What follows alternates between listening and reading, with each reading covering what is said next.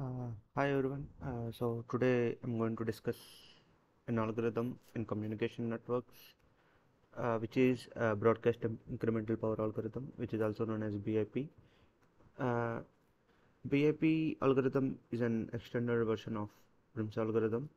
Basically, in Prim's algorithm, what uh, we will do is we'll find the minimum spanning tree so that uh, we can reach each and every node in a graph uh, with minimum total cost uh, possible. So similarly in the BIP algorithm we will do the same but the main uh, key difference is that once we reach a node B from node A will subtract the distance that is covered from node A to node B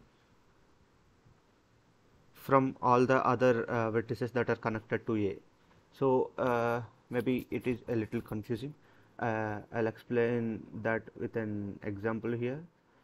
So uh, consider uh, this is my graph and I have to calculate the minimum power that has to be supplied for this entire graph using BIP algorithm. Uh, basically, so here I'll start from this vertex s. So this is my source node.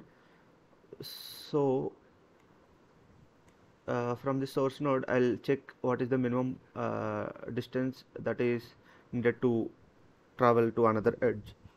So here the minimum distance that is required is 1 uh, and I can travel from S to B. So what I will do is I'll travel S to B. I'll include this B into my MST and now as I have used one unit of power from S to B I'll add one unit of power to S and I'll update the values for the vertices of like uh, for another edges of S by subtracting it with 1 that means uh, that is 9 and this will be 4 and this will be 2 so these are the updated values and it can be shown here like this. So I used one unit of power from S to B and now I've updated the values for the remaining vertices. Now S and B are in my MST so I can choose any of the edge that is minimum uh, in between these two uh, nodes. So the minimum node that is possible from the minimum edge uh, cost that is possible from B is 3 and the minimum edge that is possible from S is 2 so I'll include this edge and I'll update my MST by including it with C. And as I'm using again 2 units of power from S I'll update this value to 3 and I'll update uh, the vertices cost to 2 and 7 that is like this. Yeah so now I can choose the edges from S, B or C. Uh, so the minimum cost is 1 here from C to D. So I'll update uh, this I mean I'll take this edge and I'll include D into uh, node D into my MST done.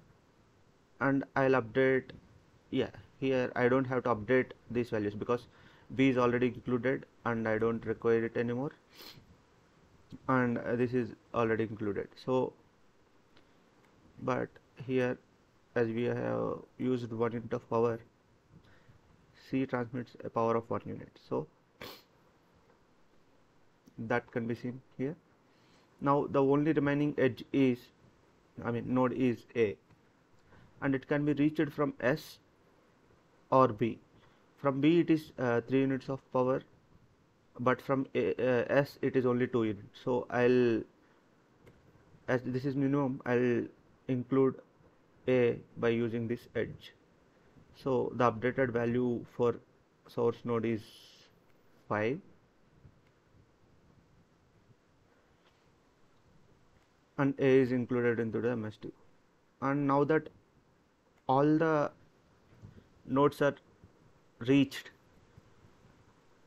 here we will stop the uh, process and we'll calculate the total power required. So the total power required will be the amount of power that is transmitted from nodes.